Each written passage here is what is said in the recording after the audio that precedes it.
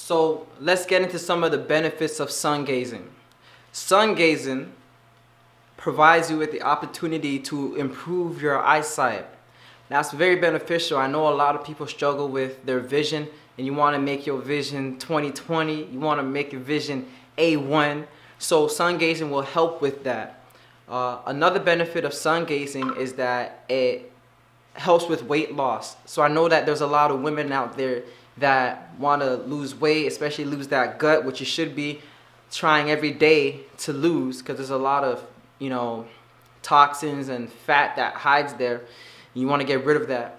Um, so the way that it helps you to decrease your weight is because it decreases appetite.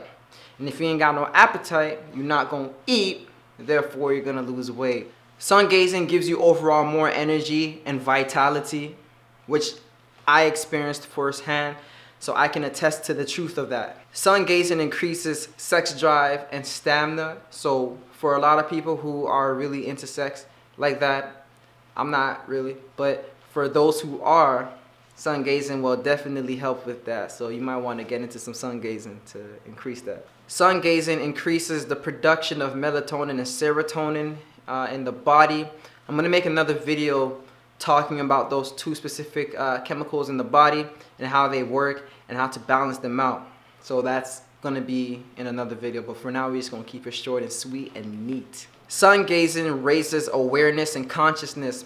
When I started sun gazing, I became one with nature. I felt myself becoming in tune with nature. I started bird feeding and I felt like Adam having dominion over all of the animals before sin entered the world. So I started looking at people and things differently. I started looking at myself differently and the things that I valued and uh, God. Even though I believe in God, I, I, I honored him differently. I valued him. I prayed differently. So sun gazing definitely helps with that. It was like I was eating the sun. Sun gazing helps to decalcify the, the pineal gland. And I should also make another video on that, going more in depth on that, but it also does help to decalcify that. Now, fun fact, uh, fluoride blocks the pineal gland. So if you have any toothpaste or you're drinking any water, anything that has fluoride in it, you might want to make sure you get that out and don't put it in your body because it's going to block or calcify. Sun gazing helps with, I mean, they say it helps with, you know, psychic powers and clairvoyance and stuff like that. So for those that do believe in it, I would recommend that you sun gaze to help strengthen those powers. Clairvoyance is, I believe, being able to see into the future or see things before they happen.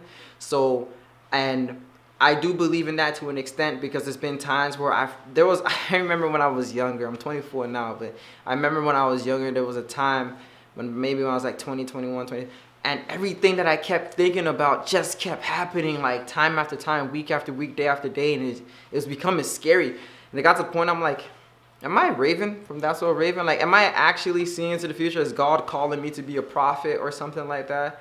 So, for those that do believe in clairvoyance, sun gazing is the way to go. And lastly, sun gazing just improves your overall health.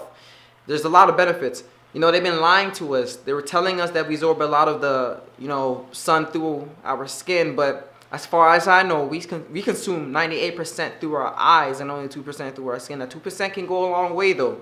Don't get me wrong. But 98 through our eyes, we gotta look, look at the sun. We have to look at the sun. The sun will feed us.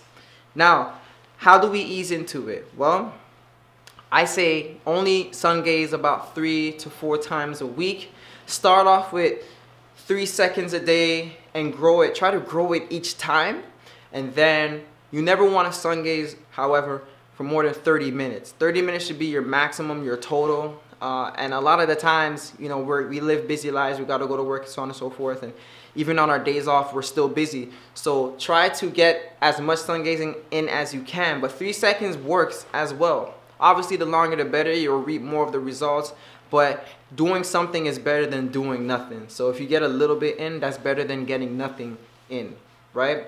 Um, and as you keep sun gazing, now I'm at the point where I do it at noon. Uh, I'm not telling you guys to do it. I'm not recommending it or whatever. Read between the lines, guys. Read between the lines. But um, I do it. I do it. So do it at your own discretion. I'm just letting you know the benefits of sun gazing. and what it's done for me and why I highly recommend it. So once again, oh, also sun could get inside your body and kill those bacterias and things like that for those who have diseases. It'll get in there and do what's working, bust it up in there. So anyways, I want to keep it short, neat, and sweet. You're rocking with the Trap God Z. Follow me on Instagram at Herbal Trap House. We're going to push it over the screen. Herbal Trap House, just like that. I love you guys. Thank you for rocking with me. Shoot me a DM. I respond. Holla at me.